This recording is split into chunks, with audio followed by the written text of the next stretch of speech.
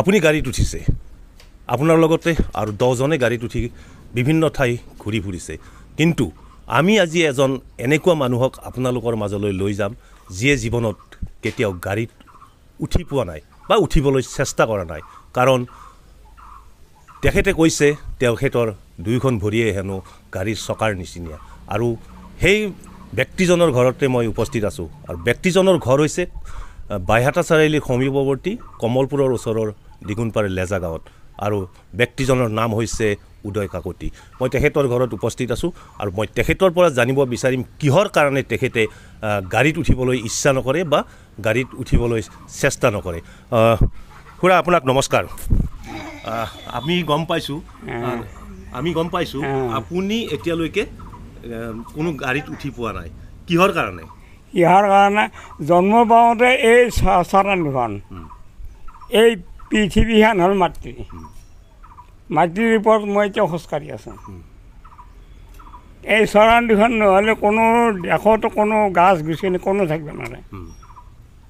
আপুনি যিহেতুকে আপুনি গাড়ীত উঠিবলৈ চেষ্টা কৰা নাই বা উঠি পোৱা নাই কিমান দূৰলৈকে আপুনি খোজকাঢ়িয়ে গৈছে? মই ষাঠি সত্তৰ মাইল যাম দিনটো আপুনি অলপ আগতে কৈছে শ্বিলঙলৈ গৈছে।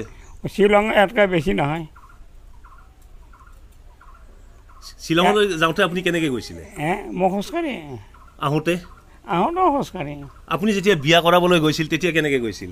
মই গাড়ীত গৈছোঁ কিন্তু আহোঁতে মই খোজকাঢ়িও আহিব পাৰোঁ মই মানে গাড়ীত যোৱা নাই আৰু খোজকাঢ়িয়ে আৰু? চৈধ্য মাইল ৰাস্তা। আচ্ছা এতিয়া আপুনি খোজকাঢ়িয়ে ফুৰে? মানে য'ত যায় খোজকাঢ়িয়ে যায়? কিমান কিমান ঠাইলৈ গৈছে খোজকাঢ়ি? বাৰ চৈধ্য মাইল যাওঁ ক'লৈ ক'লৈ গৈছে? ডিমনি থাকি অঁ। সেইভাগে নলবাৰী। আৰু অলপ আগতে কৈছে টংলা। অঁ টঙলা ফুটকিবাৰীত মই আগতে গৈছিলোঁ। খোজকাঢ়িয়ে? অঁ। হয় এইজনে হ'ল ব্যক্তি উদয় কাকতি যিয়ে এতিয়া আশীৰ ওচৰ বয়স চাপিছে। কিন্তু এই ব্যক্তিগৰাকীয়ে এতিয়ালৈকে কিন্তু কোনো ধৰণৰ যান বাহনত উঠি ঘূৰি ফুৰা নাই। তেখেতে যি কামতে যলৈকে নাযাওক কিয় তেখেতে কেৱল নিজৰ চৰণ দুখনকে চকা হিচাপে ব্যৱহাৰ কৰি ঘূৰি ফুৰিছে।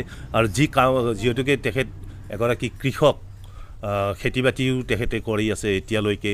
নিজে গৰু বা হালৰ গৰু হালক এতিয়াও তেখেতে যতন কৰি আছে।